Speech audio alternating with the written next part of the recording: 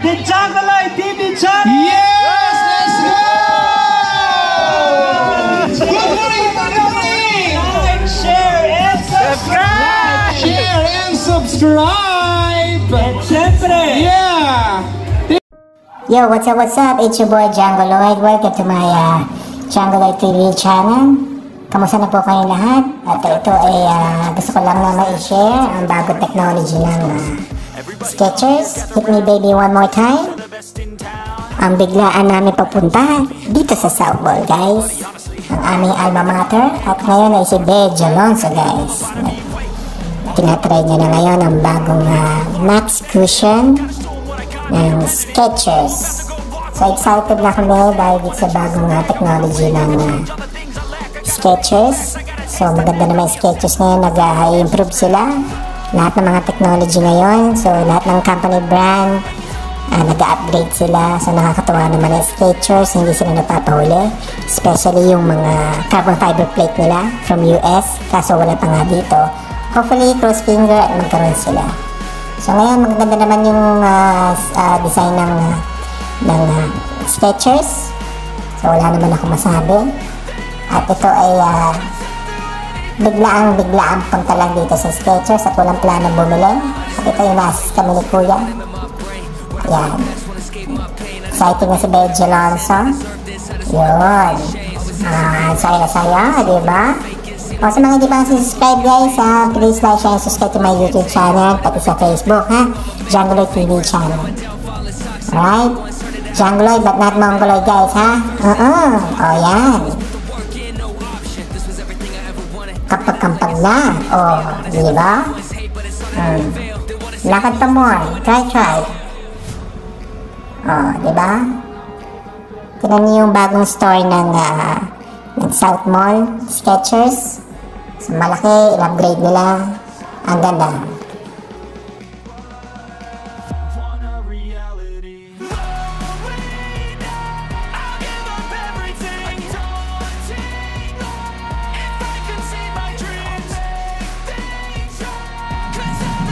Ah, try try ah. Hmm, mga excited na. Palabas yan ah. Hindi pa yan ba yan? Joke, joke, joke. Oh, yan na. Oh, mukhang satisfied naman si Bedge Alonso sa bagong Max Cushion of Skechers. Hit me baby one more time. Bakit hit me baby one more time? Kasi naalala ko way back in the 90s. Britney Spears ang model ng Skechers. So, yung late 90s guys, yung 90s era ma- pagka nakita mang brand na Skechers, makikita mang ah, si Britney, ah, sino pa ba naging endorser niyan? Si Christina Aguilera, siya yung huli. Sa tingin ko, kung naalala ko, tama siya yung huli dito sa Pilipinas. Then, uh, Backstreet Boys, yan. Oho! Ay, ang ganda. Sobrang lambot. Nahawakan ko yan. O, tinan niyo yung ah, inside niya, yung lateral. Uh, yan ang Max Cushion.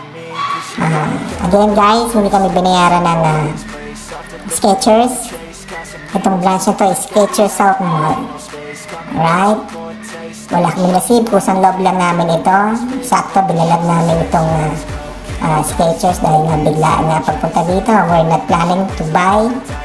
At uh, nakita nga namin ito bagong bukas ng store na Skechers. In-upgrade nila yung tindahan. Dapat ulit, di ba? So ngayon, tinaray ko, hinawakan ko, isang, isang pindot ko pa lang sa sa midsole. Wow, it's a wow. So I think this shoe, max cushion of a Skechers, uh, true to size. Pero much better, itry mo pa rin.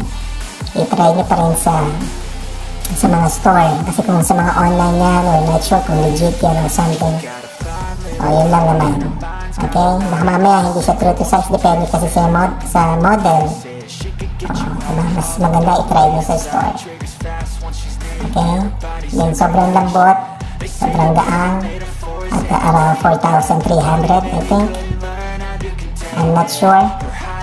O, yun. Ang suot ulit, inulit ulit. Para uh, ma-feel niya talaga. Kasi baka nagbabago pa isip niya at time. Pero nakuha naman namin siya. So, na-vlog ko na to nung couple of months ago. I think two months ago, one month ago. Alright? Yun lang naman guys. Sa mga sumuporta sa Jangoloy, but not Mongoloid, guys. Mga cha- sa channel ko, Facebook, pares ng spelling dahil meron tayo kapangalan na ah, pag hindi mo ti- tinapos yung Jangoloy TV channel, may lumalabas ah, Bollywood. Diyan Bollywood ang lumalabas. O yun. So, I think true to size sa women's size. Ewan ko lang sa men's size.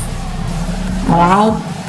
So, last week, na-try ko na na, na merong bago sa Skechers. Mas maraming bago ngayon. So, I think this one is fine.